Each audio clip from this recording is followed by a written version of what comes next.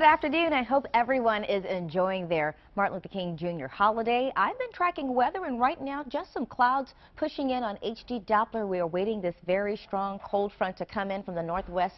The very tip of it is just on the north and western corner of Pennsylvania. And this uh, cold front has already been known for producing a bit of snow around parts of Minneapolis and also to the north and to the east of us.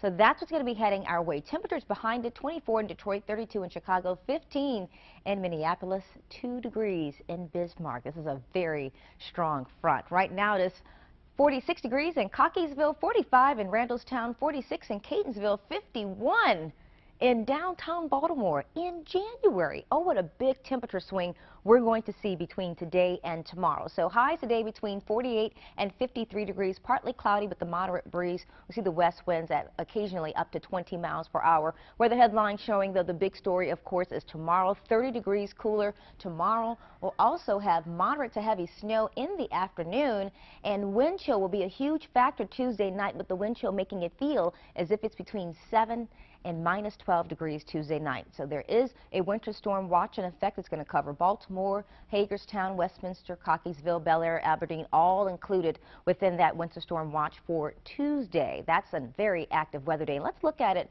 and see how it all plays out. So later tonight, the clouds will begin to increase, and early in the morning, it's going to start out west and gradually make its way over. So Westminster, Hagerstown, Oakland, you'll be first in line to see this. And as you're driving in the morning, you could begin to see a light dusting of snow, and then as the, the afternoon progresses, this is noon, we can see that pushing Baltimore by 4 o'clock. We're in the full swing of this storm. Moderate to heavy snow can be expected during this time. We keep pushing the clock forward. 6.30 in the afternoon, it's still going all the way until late tonight. It looks like not until about 4 o'clock Wednesday morning will this finally begin to lift off and leave the cold temperatures behind. Let's talk about how much could accumulate out of this.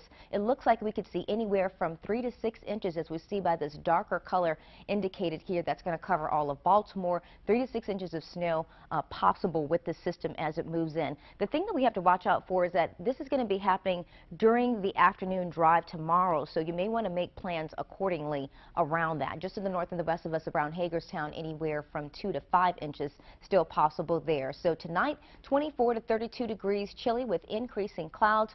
For tomorrow, just a rough day. We'll see the, the snow, the moderate to heavy snow possible with the temperatures around 22 degrees. Look at that big difference from tonight until tomorrow.